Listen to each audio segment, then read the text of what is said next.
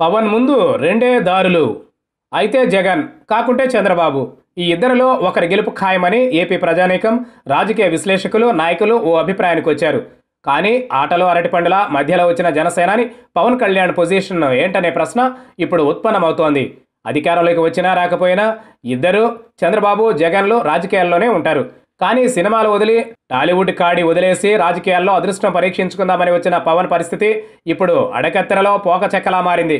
పవన్ కళ్యాణ్ పోటీ చేసిన గాజువాకలో భీమవరంలో గెలుస్తాడో లేదో అని రాజకీయ విశ్లేషకులు అంటున్నారు. దీంతో సినీ గ్లామర్ రాజకీయాల్లో పనిచేసిందో లేదో తెలియాలంటే మే ఇరవై మూడు వరకు ఆగాల్సిందే.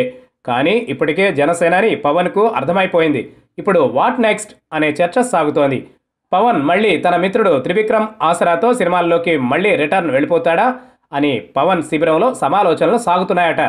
పవన్కు రాజకీయాలంటే సినిమాలే బెటర్ అని భావిస్తున్నట్లు తెలుస్తోంది. చంద్రబాబు ఈవీఎంలపై నెపం పెట్టి తప్పించుకోవచ్చు కానీ పవన్కు ఆప్షన్ లేదు.